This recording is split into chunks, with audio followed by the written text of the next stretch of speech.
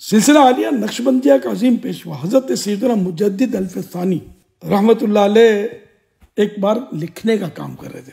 ज़रूरत वाशरूम गए, मगर फ़ौरन वापस आकर पानी मंगवाया और अपने लेफ़्ट हाथ के अंगूठे का नाखून शरीफ धोया। फिर वाशरूम तशीब ले गए। जब फारिग होकर आए तो फरमाया कि वाशरूम में जैसे मैं गया तो मेरी नज़र मेरे उल्टे हाथ के अंगूठे के नाखून पर पड़ी, जिस पर कलम की स्याही का, इंक का निशान था। और मैंने मतलब ये कलम चेक करने के लिए लगाया था। तो अब मुझे इसका एहसास हुआ कि ये क्या है तो ये तो वो कलम है, वो पेन है कि जिससे मैं कुरानी हरूफ लिखता हूँ। जैसे अरबी ज़बान के सारे जबकि फ़ारसी और उर्दू के अक्सर हरूफ कुरानी है।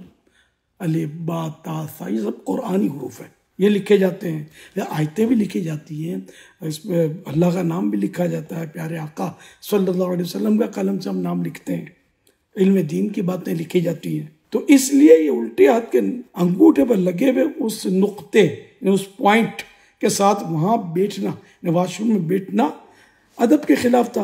हालाँकि मुझे शिद्दत से पेशाब की हाजत थी। मगर उस तकलीफ़ के मुकाबले में इस बेअदबी की तकलीफ़ बहुत ज़्यादा थी। इसलिए मैं फ़ौरन बाहर आ गया और स्याही का जो इंक का जो पॉइंट लगा हुआ था निशान वो मैंने धोया और इसके बाद में वॉशरूम वापस गया।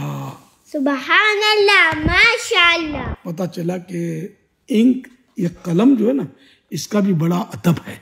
और इसी तरह कागज़ का भी अदब है बुजुर्गान दिन कागज़ का भी अदब करते थे क्योंकि इसमें दीन की बातें लिखी जाती हैं। इल्म की बातें लिखी जाती हैं।